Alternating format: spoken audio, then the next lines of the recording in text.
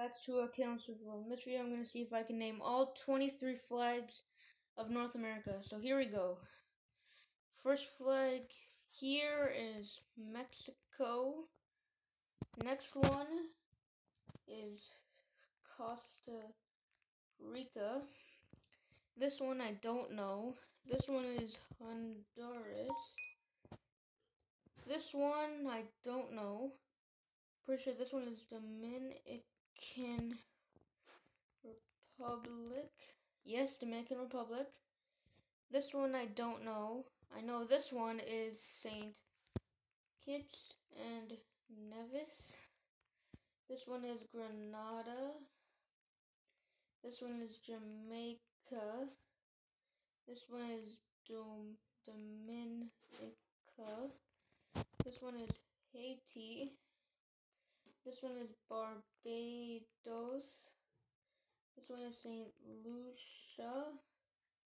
This one is Easy, my home country of Canada. This one is the Bahamas. This one is Guatemala. This one I don't know. And I know this one is Panama. This one is Antigua and Barbuda. This one is Cuba. This one is the US. The last one is Trinidad and Tobago. Spelled wrong.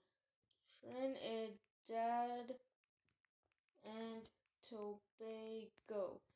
There we go. We got 19. Is there any more I know? No, I don't know any more of these. This one is very similar to, this one is really similar to Lesotho, but I don't, but it's probably not. Okay, so I think I'll have to give up.